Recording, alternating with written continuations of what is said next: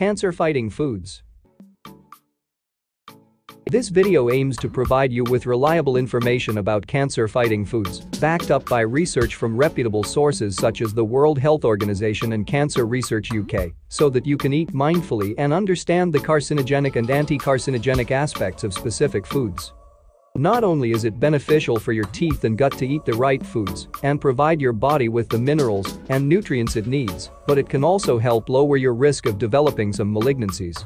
The following are some of the cancer-fighting foods that you should have to reduce your chances of developing specific types of cancer. Number 1.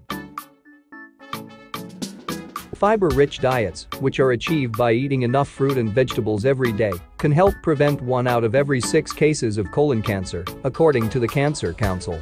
Eating the recommended 5 servings of fruits and vegetables each day can help prevent esophageal, lung, and some types of mouth and throat cancer. Number 2.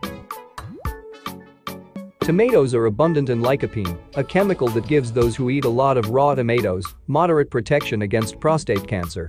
You can lower your risk of prostate cancer by include more tomatoes in your diet, whether fresh, tinned, or cooked. This is particularly crucial for men over 50, as this is when the risk of prostate cancer begins to climb. Number 3. Garlic contains anti-carcinogenic qualities in addition to its flavor. According to Cancer Council Australia studies, eating a lot of allium vegetables, including onions, garlic, and shallots, lowers the risk of stomach cancer. According to the experts, garlic probably protects against colon cancer. To get more garlic in your diet, make fresh, homemade cuisine for lunches and dinners instead of store-bought ready meals. A generous amount of garlic is beneficial to stir fries, chicken hot pots, a warm broth with chicken, veggies, noodles, or potatoes cooked in one pot, and oven-baked fish dishes. Number 4.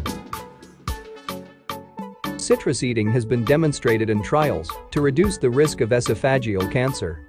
According to a survey of nine studies, citrus fruit consumption was also linked to a lower risk of pancreatic cancer. Another study found that consuming a lot of citrus fruit, at least three servings per week, decreased the risk of stomach cancer by 28%. To obtain enough citrus fruits, try placing lemon slices in your tea, topping a salad with lime, and eating grapefruits for breakfast. Number 5. Carrots may not be able to help you see in the dark, but they may be able to help you avoid cervical cancer, according to suggestive data.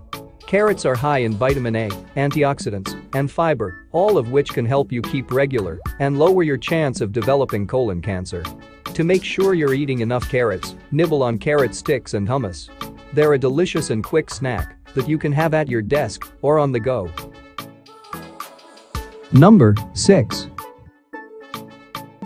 Eating whole grains has a lot of evidence that it can help prevent colorectal cancer. Whole grains with nutritious fiber include brown rice, whole grain bread, quinoa, spelt, rye, and oats. They're also recognized for aiding digestion and lowering cholesterol, as well as protecting against certain cancers.